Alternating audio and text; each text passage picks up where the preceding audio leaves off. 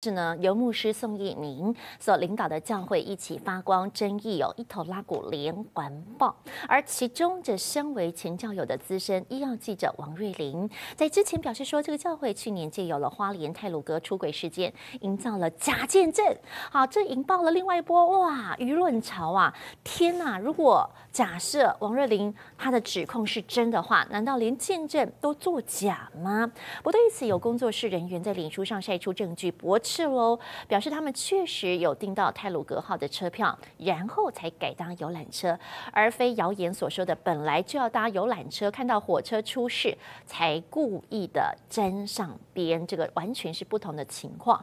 现在到底真真假假，谁说的是实话？两方哦都各有拥护支持者。好，这个女星小甜甜跟一起发光教会的牧师宋一鸣之间的争议沸沸扬扬已经好几天了，小甜甜也退出教会了。后来有好多这个艺人呐跳出来爆料说，这个教会跟宋一鸣呢问题一大堆。一起发光的初创成员艺人李明一，他曾经也担任过理事。他昨天受访的时候就补枪说，牧师不是 CEO，牧师应该是以爱人牧养为主啊，不是意图掌控。不然你去开公司好了。李明一也解释他离开一起发光的原因。他说他二零一六年就离开了，因为他不欣赏宋一鸣台上台下表里不一，情绪控管有问题，动不动就发脾气哈。宋一鸣做事的方式他都不认同，所以他已经。离开了。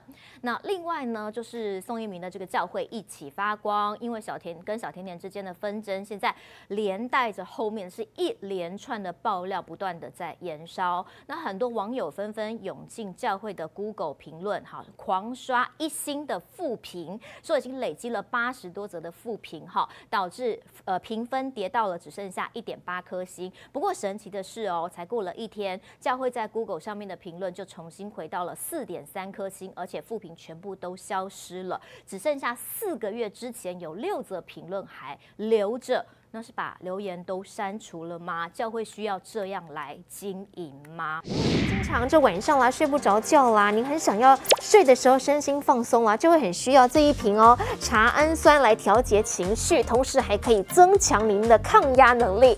现在下定的话，记得打上我的这个折扣码 C T I 七一七，若鱼帮你来打折。